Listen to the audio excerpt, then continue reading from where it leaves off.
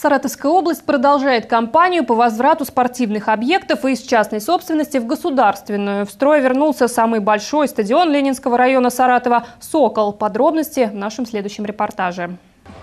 Такого массового ажиотажа стадион «Сокол» не видел много лет. Находясь в частной собственности, он потерял былую славу Центра спортивной жизни Ленинского района. Два года областная власть вела переговоры с хозяевами. Итог – стадион возвращается в областную собственность.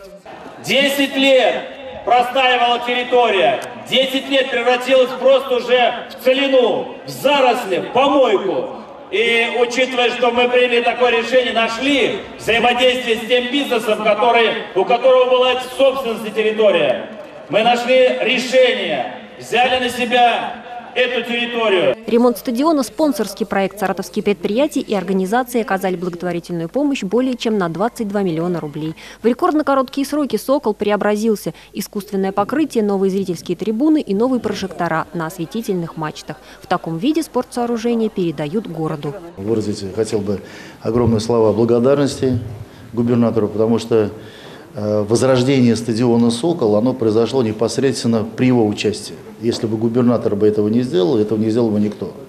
Потому что долгое время город, э, город не смог эту проблему сам решить, потому что собственники не хотели его передавать, хотели э, там что-то, скорее всего, построить. Соответственно, разрешение на строительство они в городе не могли получить. Вот, поэтому губернатор э, принял решение о выкупе этого стадиона, что произошло. Новое искусственное поле с подогревом испытали футболисты Дюшор «Сокол» 1995 года рождения и ветераны саратовского футбола.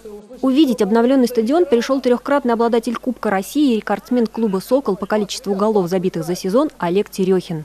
Мне путевку дали в большой футбол. Вот здесь я пять лет играл. Самый уютный, самый лучший стадион здесь был. Я просто пришел, что здесь было буквально 4 месяца назад, и сейчас небо и земля.